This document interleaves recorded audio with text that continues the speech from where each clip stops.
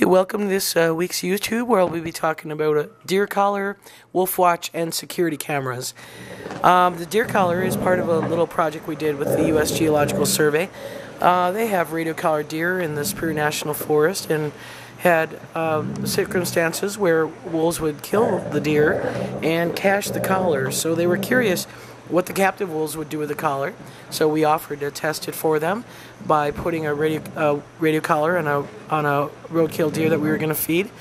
And we attached the collar securely. And interestingly enough, the wolves really showed very little interest in the collar.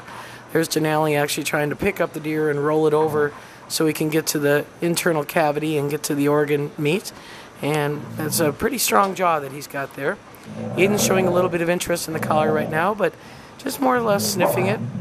It was on a wild deer, so uh, it uh, does have a little bit of a scent with it.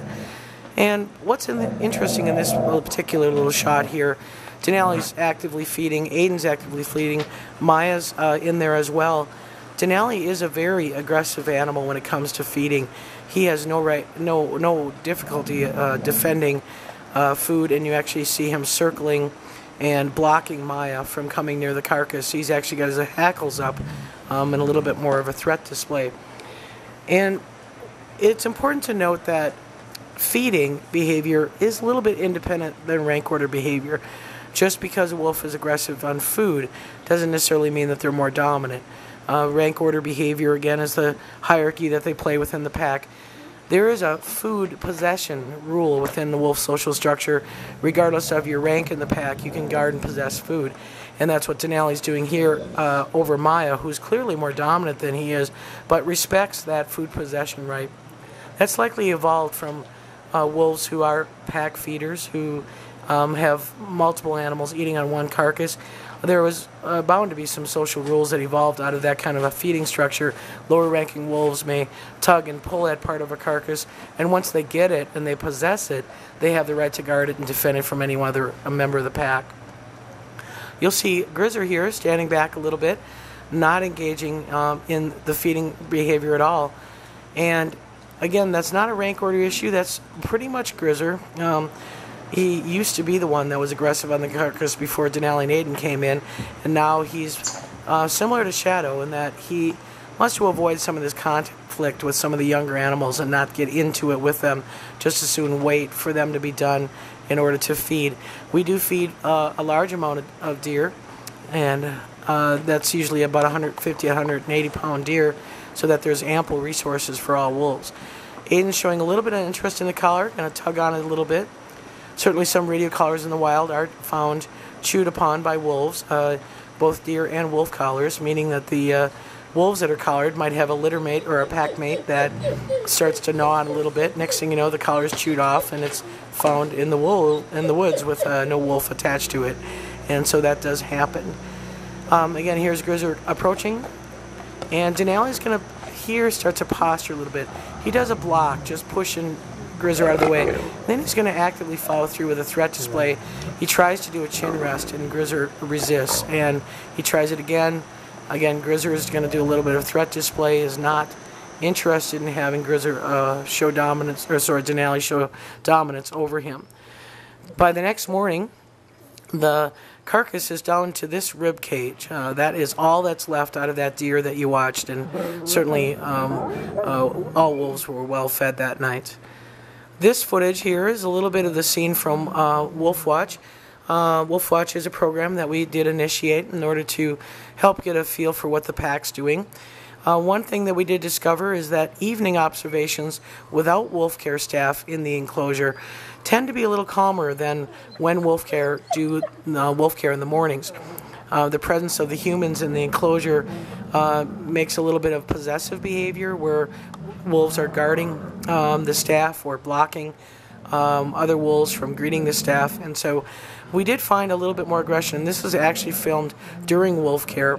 And you're hearing a lot of growling from Maya, just walking around, asserting her position. Um, again, wolves use vocalization to make their point without being physical. So growling is not a bad thing. It's a way to say, you know what, I'm more dominant than you are, and uh, uh, vocalize that without having to be physical. One uh, interesting observation, and you can read all of the observers' comments in, at the wolf logs, but one inter- interesting observation was that Denali and Grizzer do spend a fair amount of time together. Actually, for on Grizzer's point, about 95% of Grizzer's observations were with Denali. And those two still have a special kind of relationship. Uh, obviously, Aiden and Denali have the littermate bond, and uh, Grizzer and Denali have kind of a wrestling bond. Uh, those two spend a fair amount of time interacting um, physically they're equally matched. And so Maya kind of stays out of some of those wrestling matches, um, asserts her position again with a lip curl and a growl, um, carries her tail high as a dominant female. She's the only one really keeping order in this pack right now. Grizzer doesn't seem to want to keep order. Um, he certainly uh, spends a fair amount of time again in, in social interactions, jaw sparring, wrestling, but he does have a tendency to get a little frustrated with uh, Denali and might do a whirl or a spin around and kind of lunge at Denali. Denali's a little powerful, and Denali's trying a lot of things. And this is like, say, two year old testing behavior. Certainly not anything that we haven't seen before. Um, was a two year old at one time.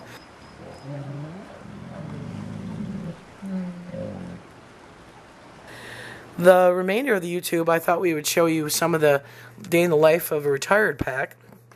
And this is footage that's taken right from the security cameras. Uh, we do have a 24 hour uh, low light security system on this enclosure so we can see what's going on. This is Malik um, getting up at about 5:16 a.m.